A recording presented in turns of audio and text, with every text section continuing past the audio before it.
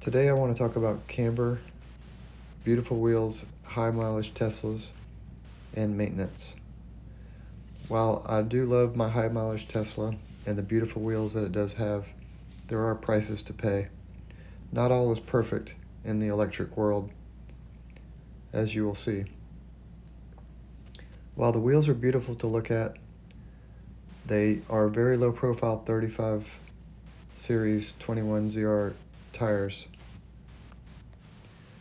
People asking to get into a cheaper used Tesla, I always recommend the Tesla Model S, the early editions.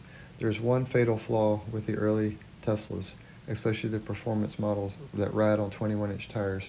They have really extreme camber. Uh, we assume they did this for the sporty um, feeling when you drive the car, but the negative is they eat tires like candy. We're talking 9,000 miles on a set of tires, which is crazy. This company makes an aftermarket solution that is incredible. It adjusts the camber so the wheel is straight up and down, not angled for performance around corners. Um, this uh, company makes this camber adjustment arm that is, you have to feel it to believe it. It's the most solid, incredible looking thing. It looks like something out of a science fiction movie almost. But it's going to completely fix my camber problems and allow me to get probably double the life out of my tires. This company is out of California, and is the part cheap? No. But is it high quality? Absolutely. Uh, it's really a shame that the part has to sit in the suspension of the car where you'll probably never see it because the build quality on this part is like nothing I've ever seen. I mean, it's it's just breathtaking when you look at it and hold it.